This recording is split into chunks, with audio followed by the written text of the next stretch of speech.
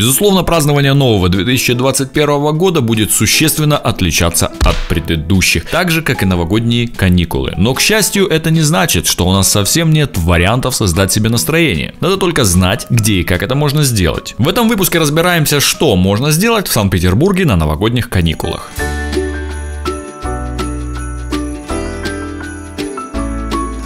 Номер один. Любителям музыки. Пусть большая часть массовых мероприятий, в числе которых новогодние гуляния, концерты и даже выставки, отменены, новогоднее настроение можно найти на небольших музыкальных вечерах в Петербурге. В Музее советских игровых автоматов проходят вечера живого джаза джаз-лайк. Их атмосфера способна перенести вас во времена, когда джаз только появился, а также помочь вам расслабиться после трудовых будней. Участие в мини-концертах принимают не только именитые исполнители, но и начинающие таланты. Сам музей игровых автоматов все так же функционирует, поэтому послушав музыку, вы сможете и поиграть, и перенестись таким образом еще и в советские времена. Для любителей иного музыкального стиля есть возможность посетить такие мероприятия, как рождественский орган и музыка при свечах, мелодии Рождества. Проходить это действо будет 25 и 26 декабря. Посетив рождественский орган, вы сможете узнать получше рождественские традиции из Европы и понять, что такое настоящий дух Рождества, о котором нередко пишут и в книгах, и в рассказах, и показывают в фильмах. А на органном концерте «Музыка при свечах» дело одним только органом не ограничится, так как на концерт приглашены особые гости. Вас ждет также и мелодия флейты, и рояля, и скрипки.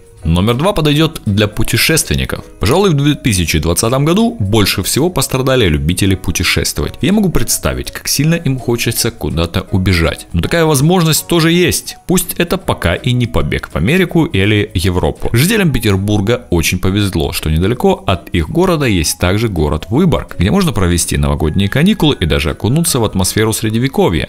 Если вы еще не видели мое видео на канале про этот город, обязательно смотрите его. Ссылочку на это видео ставлю в описании. Но если вам хочется окунуться в средние века еще больше, также можете принять участие в рыцарском турнире. У жителя Петербурга есть уникальная возможность взять целую трехдневную экскурсию «Средневековый Новый год» в Выборге. А база отдыха Пасторское озеро в Ленинградской области предлагает провести каникулы в стиле Хюгге. 2021 Новый год планируется пройти в скандинавском стиле, вместе со скандинавскими угощениями, мастер-классами и даже пижамной вечеринкой. Не обязательно путешествовать по другим странам, вполне можно отправиться в параллельные миры. Не верите? Спросите, как у сотрудников Центра виртуальной реальности код. Здесь установлено 12 систем виртуальной реальности, а также более 30 игр. А перемещаются игроки в фантастические миры с помощью VR-шлемов HTC, Oculus и Sony. Номер 3. Всем желающим вспомнить детство. Не стоит игнорировать и те развлечения, которые были у вас в детстве. В пространстве Никольские ряды действует одна из крупнейших ледяных горок. А в Московском парке Победы есть возможность не только покататься на санках или ватрушках, но и на лыжах и коньках. А если вы в детстве обожали рисовать и мастерить поделки, то загляните в студию рисования и живописи Zoo Art, где есть возможность посетить мастер-классы по плетению рождественских венков, а также устроить настоящий арт-корпоратив в их пространстве. Здесь вы не просто проведете отличное время с коллегами или друзьями, но и создадите свои художественные шедевры под руководством опытных преподавателей. Домой вы придете с уникальной картиной, написанной вами. А чтобы ожидание Нового года было интереснее и веселее, Мега создала онлайн-квест для детей и их родителей, связанный с операцией по спасению Нового года и возвращению Деду Морозу волшебной пыли, которую украл Снеговик. Номер 4. Скучающим по лету. Для тех, кто не относится к любителям данного праздника и предпочитает скорее теплое время года, тут может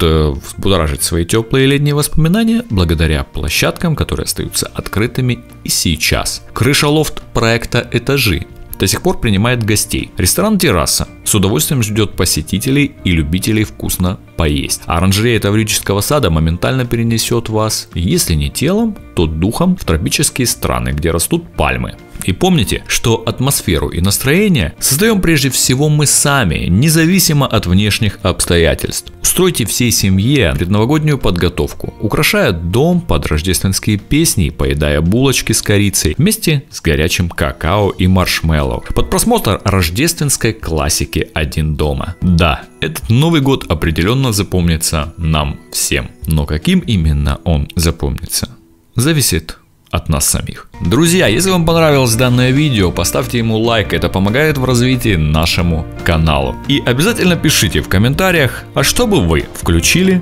в этот список.